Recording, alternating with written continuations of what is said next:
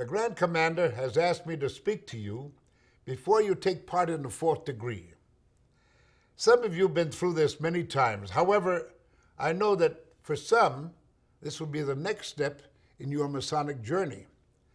And I want to especially speak to you. The work of the Scottish Rite is to inspire and teach man that he must improve, refine, and perfect himself. The degrees of the Scottish Rite constitute a journey toward ever broadening horizons of knowledge.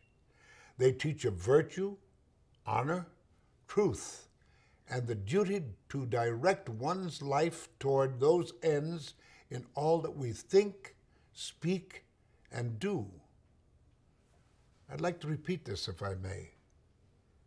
They teach of virtue, honor, truth, and the duty to direct one's life toward those ends in all that we think, speak, and do. Though each degree or body of degrees may have a general theme, no degree teaches only single lessons, just as no symbol has only a single meaning. Make sense so far? Good. Some of the lessons are easily apparent. Others reveal themselves only to the determined seeker or worker. What you put into your Scottish Rite experience will be returned to you in like measure.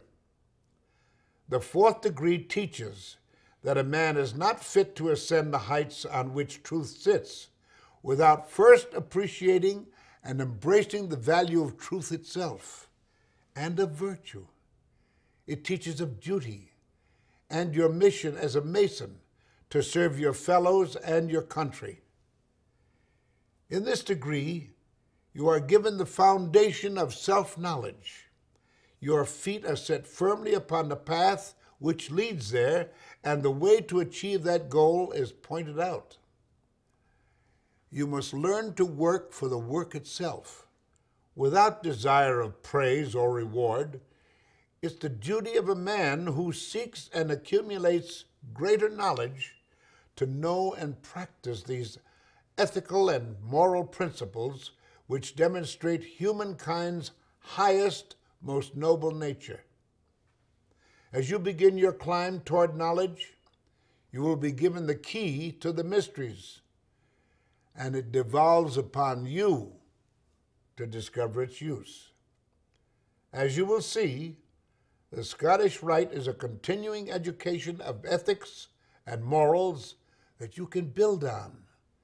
If you embrace these teachings, if you will take the time to learn and understand what each degree is teaching you, you can effect profound change on yourself, your spouse, your children, and all of those you know and love you will find that each mission in life is not only possible, but will come with a greater sense of fulfillment. Gentlemen, I wish you all good luck and Godspeed, dear brothers.